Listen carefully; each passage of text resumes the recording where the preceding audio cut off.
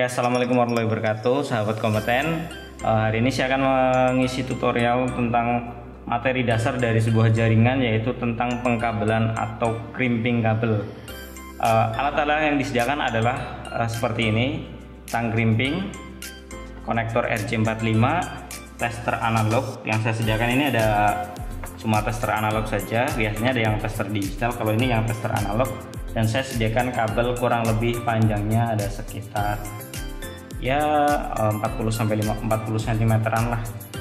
Oke mungkin sahabat komentar udah ada mungkin dari terutama yang minat ke jaringan ya atau yang udah berpengalaman berpuluh-puluh tahun di jaringan. Uh, teknik paling dasar uh, untuk uh, apa namanya? Penggerimpingan uh, sangat mudah karena di sini cuma ada 8 kabel tapi video ini ditunjukkan untuk bagi mereka terutama untuk anak-anak uh, sekolah kejuruan uh, ya khususnya teknik informatika yaitu teknik komputer dan jaringan atau TKC ini adalah materi materi paling dasar di mana di sini adalah dasar-dasar dari segala ilmu jaringan. Untuk yang pertama kita ada ngumpas kabel. Untuk ngumpas kabel nggak uh, cukup sekitar kalau ini kurang lebih dua ruas jari atau segini nih. Nah kita ukur kalau bisa diukur segini nih uh, kita gunakan ini. Jadi di sini ada alat uh, sediaan tempat khusus untuk memberikan ini masukkan ke sini lalu kita put putar begini. Set. nah. Terus jangan langsung ditarik sobat kompeten. Kita uh, di apa namanya dipotek-potek dulu. Nah ini. Ya udah mengelupas dan selongsongnya jangan langsung dibuang.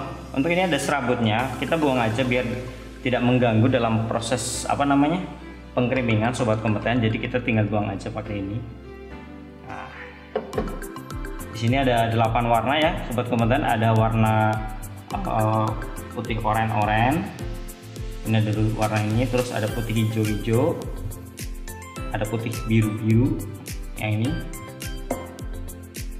Dan ada warna putih coklat-coklat. Nah di sini untuk me, uh, sebelum kita crimping kita luruskan dulu kabelnya. Jadi untuk selongsongnya ini jangan usah dibuang ini fungsinya untuk mempermudah dalam uh, mengelupa apa ibaratnya meluruskan kabel itu kayak gini. Nah, biar terpisah antara dua warna ini. Begitu juga untuk yang lainnya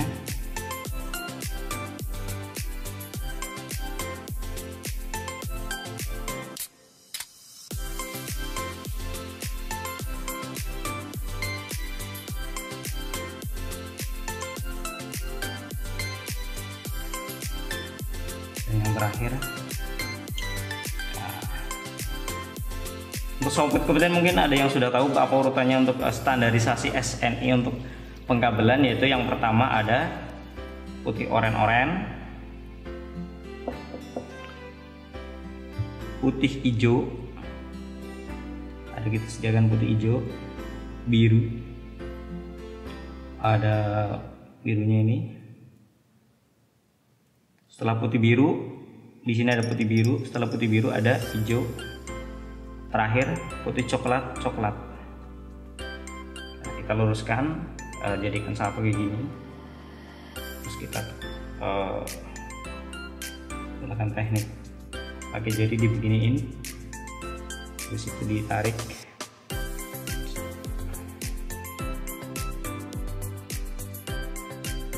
Ini jadi seperti ini ini warnanya ya.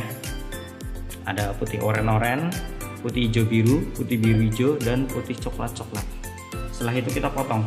Jadi kita menggunakan yang ini kalau untuk potong kita gunakan ini langsung begini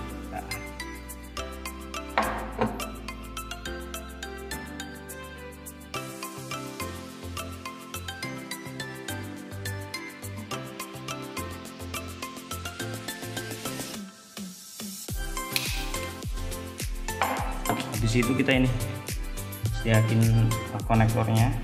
Uh, tips untuk uh, membuat kerimpingan jadi yang bagus supaya ibaratnya tidak mudah lost koneksinya adalah dengan seperti ini. Kita masukkan semuanya. Diusahakan kabel selongsongnya ini masuk separuh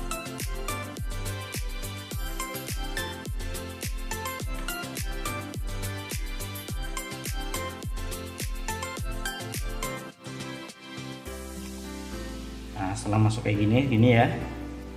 Baru kita masukkan ke dalam konektor yang 8 port atau untuk yang uh, RJ45 nya di sini tipsnya untuk pengeriting adalah ketika kita mau masukkan ini uh, konektornya sambil ditekan ditekan seperti ini biar ujungnya itu masuk semuanya.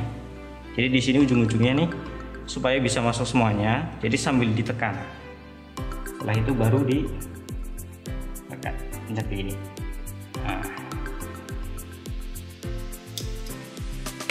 ini seperti ini ya. Kerimingan yang betul seperti ini. Kalau untuk kerimingan yang salah saya sudah kan uh, ini sediakan kerimming yang uh, kurang bagus. Jadi ini ya kalau yang salah itu kayak gini nih. Ininya kabel selongsongnya ini ada di luar. Ini nggak memenuhi standar SNI tapi kalau yang bagus ini seperti ini. Jadi kabel selongsongnya ada masuk uh, ke dalam. Ini kok kenapa kabel selongsongnya masuk harus masuk ke dalam? Itu fungsinya ketika kabel apa konektor dicabut uh, dari komputer ini kabelnya nggak ketarik. Jadi kita ketariknya cuma kabel luarnya saja. Jadi uh, ini ada fungsinya. Jadi selongsongnya ini kenapa harus masuk ke dalam? Ya karena itu. Dan juga untuk yang standar SNI atau untuk standar internasionalnya memang seperti ini. Terus kalau kita creaming lagi kabel yang satunya. Uh, ikutilah yang seperti yang pertama tadi jadi jangan langsung ditarik tapi di kayak gini dulu. Nah, sama urutannya ini uh, apa? Seratnya kita buang dulu.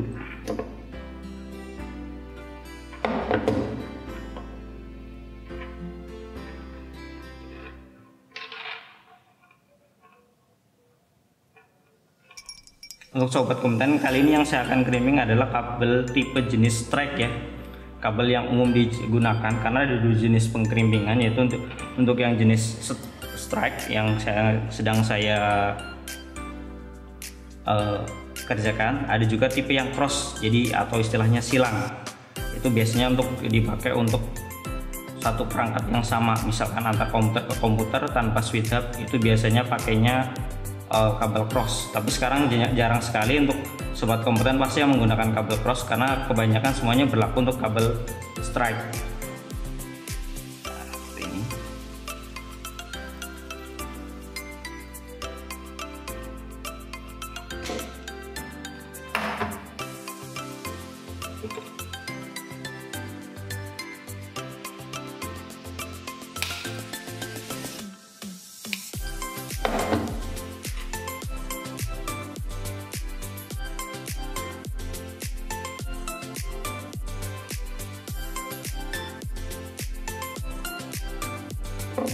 sambil ditekan kayak gini ya seperti yang langkah yang pertama tadi. Sambil ditekan kita sambil ngepres kabel nah. Oke sobat komentar ini udah jadi uh, timbuk kerimpingan untuk yang model strike seperti ini. Langkah berikutnya untuk yang terakhir adalah kita tes kabelnya. Apakah nyala atau enggak kabelnya? Oke sobat komentar uh, ini udah selesai untuk kerimpingannya sekarang kita tinggal tes testing uh, menggunakan tester analog ini apakah sudah benar urutannya atau nyalanya sudah sesuai dengan indikator 1 sampai 8 kita coba langsung sahabat komentar.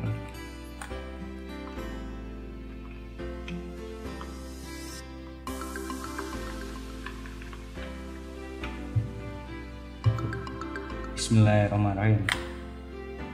1 2 3 4 5 6 7 8 Alhamdulillah ini sudah sudah jadi ya untuk urutan warnanya lihat ini. Oke, jadi kita sudah selesai untuk uh, pengkerimingannya. Simpelkan sobat kompeten uh, untuk uh, materi yang saya ajarkan hari ini. Uh, semoga ilmu yang saya berikan bermanfaat untuk uh, sobat kompeten. Uh, kalau ada pertanyaan untuk sobat kompeten silahkan komentar di bawah Uh, bagi sobat kompeten yang suka dengan video ini silahkan like dan subscribe channel P2KPCK 2 Jakarta Timur. Uh, jangan lupa tombol tekan tombol lonceng notifikasinya. Oke, okay? sekian dari saya untuk video tutorial kali ini. Uh, wassalamualaikum warahmatullahi wabarakatuh.